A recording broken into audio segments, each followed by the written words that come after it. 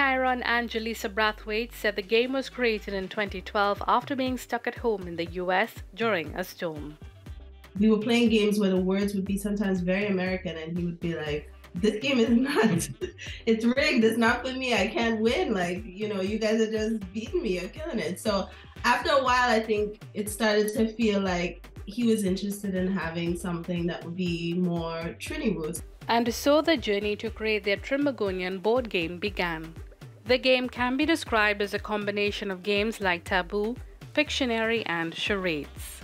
We went abroad, we went to China to find a manufacturer to create the actual game. For us, we we sourced local talent in Trinidad for like the graphics that you'll see on the box.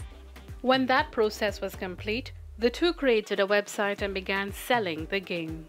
Kieran said one challenge is keeping the game up to date as Trinbagonians pen new words often.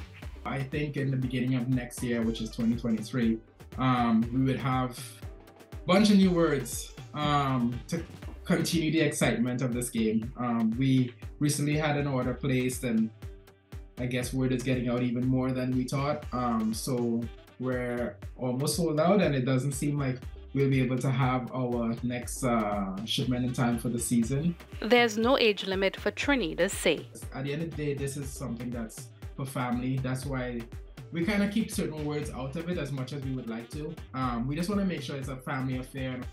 And while the idea of having the game virtual has entered their minds, they believe in the importance of having fun in a physical setting it's so heartwarming to hear all the stories that people will send us saying like oh my gosh we just played this with family my kids are now seeing words that they've never heard before but it's so fun to like feel like i'm back with my roots and my culture and share that with like their kids who from a different place and don't know this it's the brathwaites hope that their game which was created to keep them closer to trinidad and tobago would do the same for other families who migrated to other countries so that their younger generations would learn more about their family's culture through words. I'm Mahalia Joseph Wharton and this is See Yourself on TTT News.